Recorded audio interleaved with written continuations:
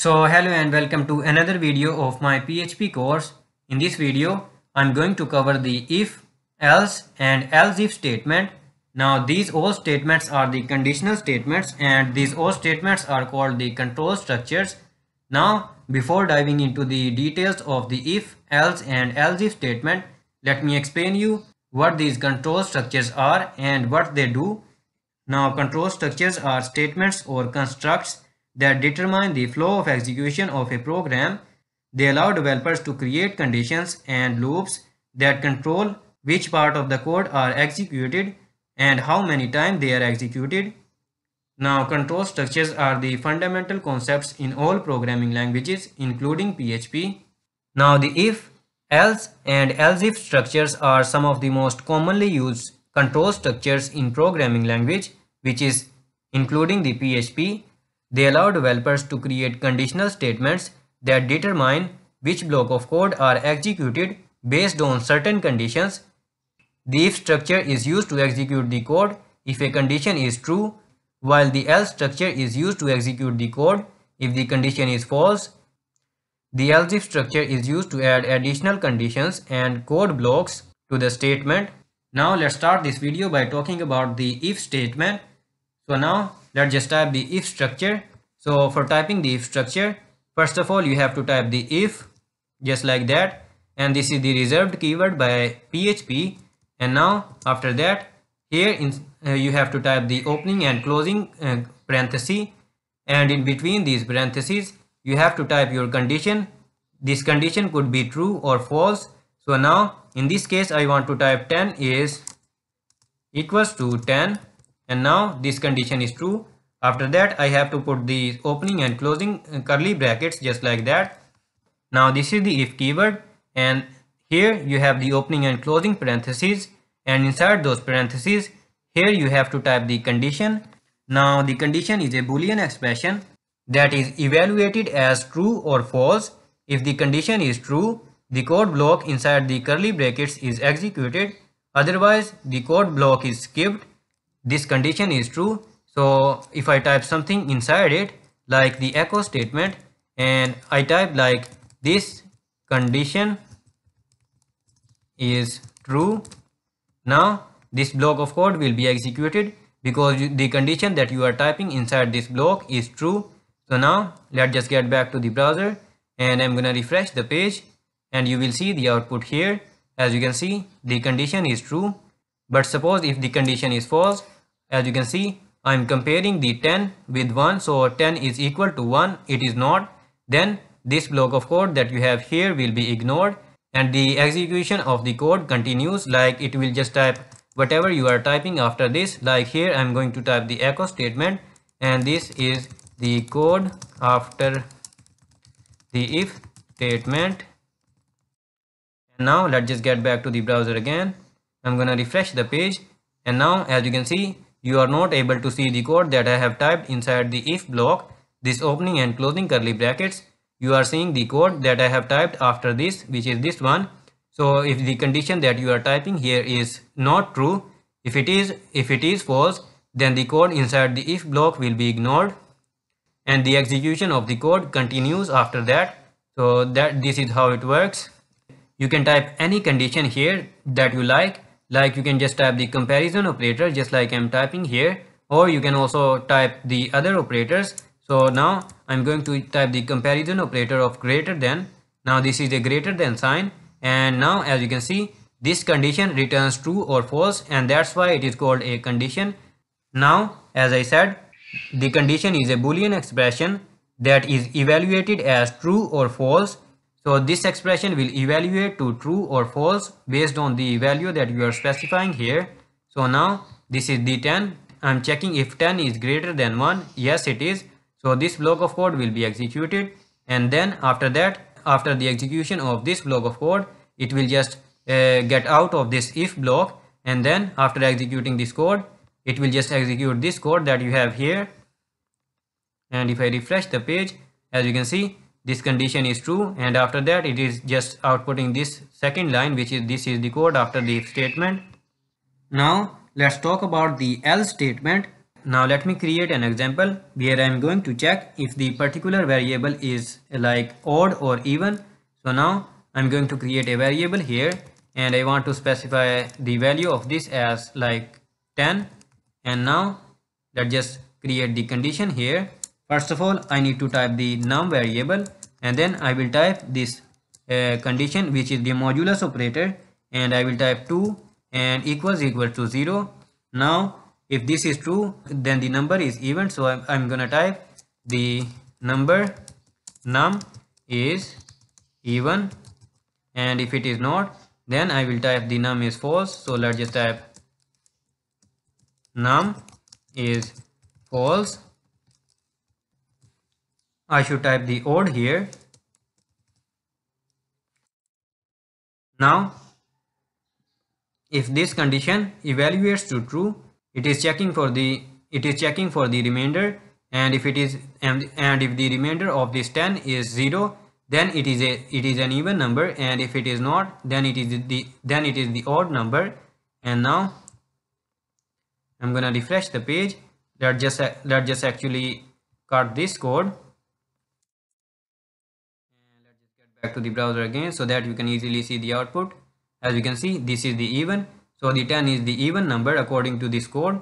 And if I make some slight changes in it like if I make 11 now the remainder of this will be 1 and not the 2 and that's the reason why it will, it will be the odd number. And I, if I just refresh the page as you can see it is saying that the 11 is odd.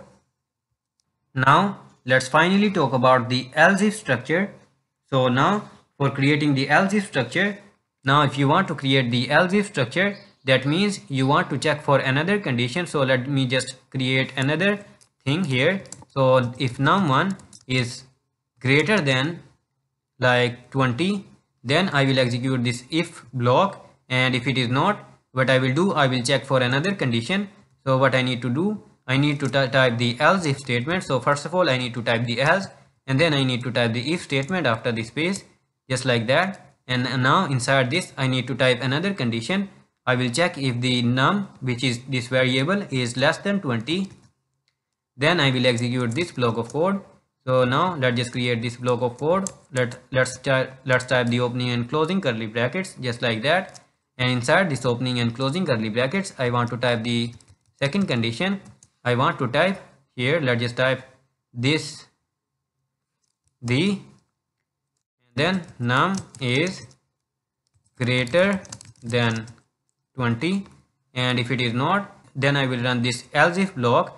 And if the num is less than 20 as you can see the num the value of the num is 11 and yes it is less than 20 then I will execute this block of code. So I want to type the num is smaller than 20 and if both conditions are false then I will execute this block of code and I will say inside it the num is neither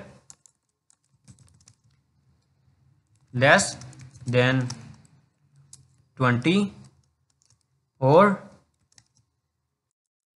nor bigger than 20 so now let's just get back to the browser and let's see the output.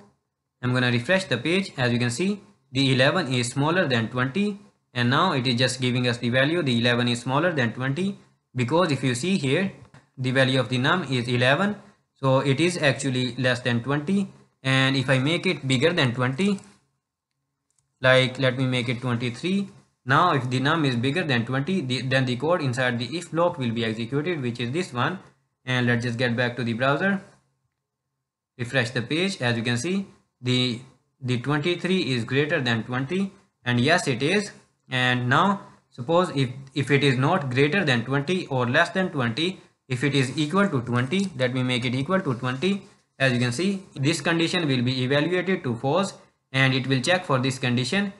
Now this condition will also be evaluated to false the reason for that is as you can see this is the num and this num is greater than 20 and it is not equal to 20 because i'm checking if num is greater than 20 it is not. If num if num is smaller than 20 it is not. It is equal to 20 so 20 is equal to 20 and not smaller to 20 then it will just ignore these two block of codes like if and else if and it will just execute this code which is the else statement. I'm gonna refresh the page and it will just give you the output. The 20 is neither less than 20 nor bigger than 20 it is equal to 20 so now let me finally show you how this execution worked for the last time. So first of all it will just check for the this condition that you have here. And if this condition is true then all these other blocks that you have here will be ignored. And the code inside this block will be executed. And after the execution of this block of code all the other blocks of code that you have typed uh, with this if block will be ignored. And the execution of the code will continues after that like if you have typed some code here like any code it could be a function it could be anything then that code will be executed.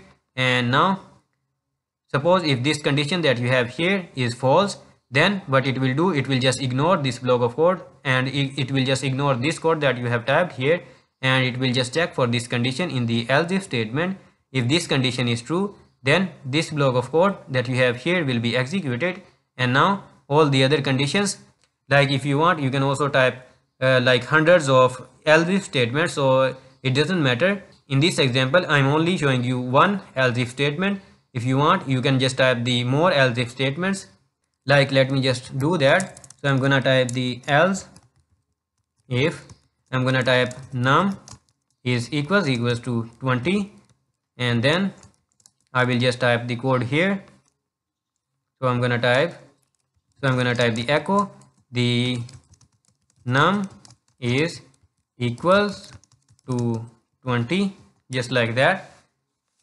Now what it will do? It will check for this condition this second condition and if it is true then the code inside this condition will be executed and all the other conditions will be ignored.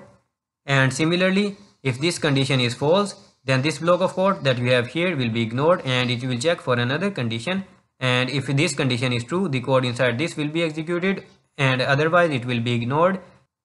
And finally all the statements that you have typed in the if and else if statements are ignored and the else block will be executed. So this is the block of code that will be executed. Inside this inside this let me type something like the num is not a valid number. And now let's just cut this and let's just run this block of code final uh, for the last time. As you can see the 20 is equals to 20 so as I have the value of this as 20 so it is executing this block of code which is here.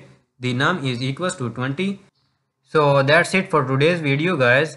I hope you found this tutorial on the if else and else if statements helpful. And now you have a better understanding of the different conditions and control structures so that's it for today's video and i will see you in the next one